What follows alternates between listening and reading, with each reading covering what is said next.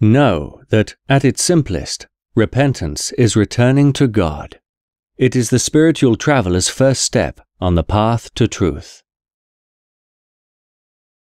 Repentance starts when you clearly see that sin is a fatal poison and that the carnal appetites are like honey in which there is poison. It is sweet for a moment, but painful in the end. Among these sweet poisons are adultery, intoxication, theft, and disobedience to one's parents. Know that the antidote for the poison of sin is repentance.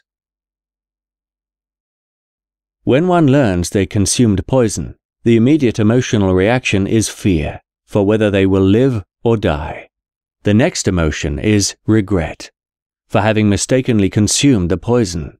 Sin too is a poison, and one should fear the punishment of the hereafter. Also, one should regret having committed the sin. Thus, the basis of repentance is fear and regret. After fear and regret, one should then resolve to do three things. One is for the past, to make up for the sin. For example, if you did not pay your annual charity, you should do so now.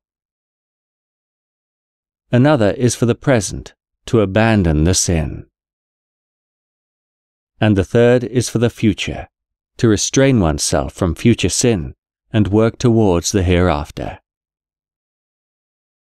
One who delays repentance is like the man who is asked to uproot a tree and responds, The tree is strong and I am weak. I'll wait until next year. The fool doesn't realize that the tree only grows stronger. The carnal appetites are like the tree. They too gain strength every day. The sooner you start to work against them, the easier it will be to overcome them.